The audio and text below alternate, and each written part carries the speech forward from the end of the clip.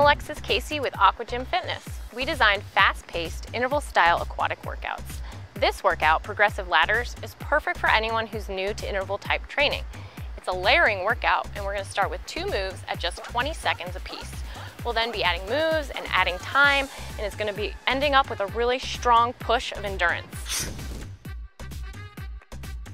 All right, we're gonna start out with our first two moves at 20 seconds apiece.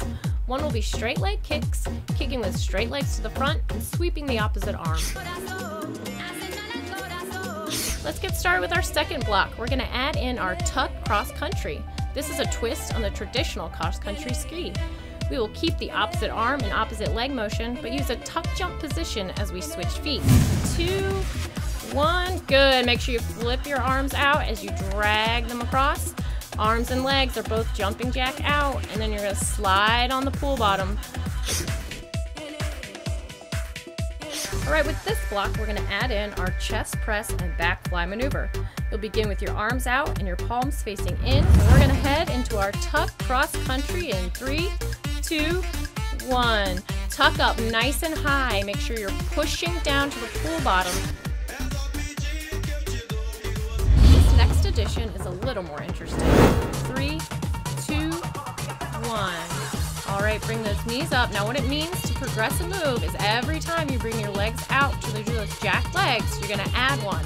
So you're gonna go from one, then two, then three. Bring those knees up nice and high. Use your arms to help you pull up and down.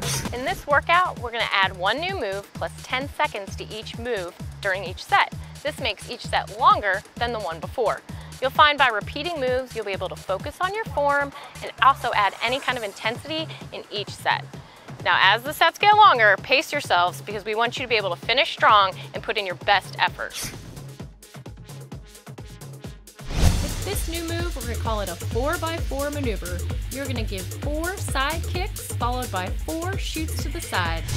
Three, two, one, you're gonna bring your knees up.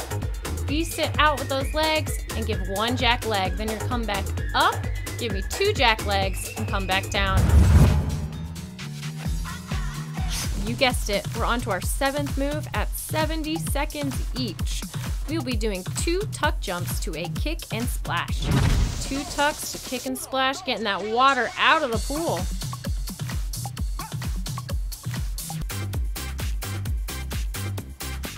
You made it! This is the last set, best set, and we're going to finish out with another 4x4 maneuver. You'll begin with four front to back kicks and quickly follow with four shoot front to backs. Three, two, one. Pull those knees up, bring those legs out in front in that V sit. One jack leg and straight leg pull down. Remember, we call it the progressive because you're gonna add one jack leg every time those legs are right out in front. Three, two, one.